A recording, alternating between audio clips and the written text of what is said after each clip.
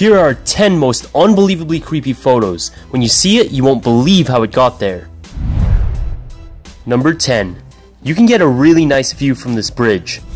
But apparently, this guy wanted a closer look at the ground.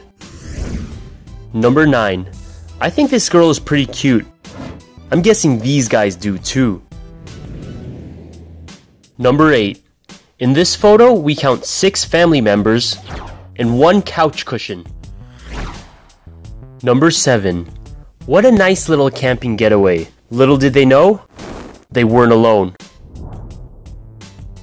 Number 6. At first glance, I would have given anything to get in with four of the five girls, until I saw what was waiting for them. Behind the window. Number 5. Ah, such a peaceful night at the park. A cool breeze, nice trees, and. Slenderman! Number 4.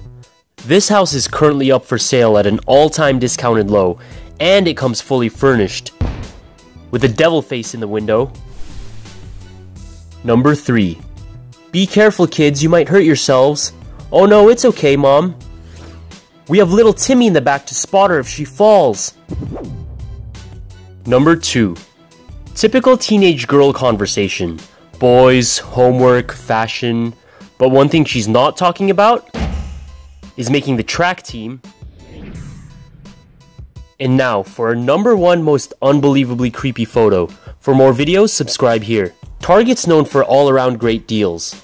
$14 for a girl's top, 20 bucks for a hoodie, and this weekend only for $27. A third extra creeper hand? Bad Badger.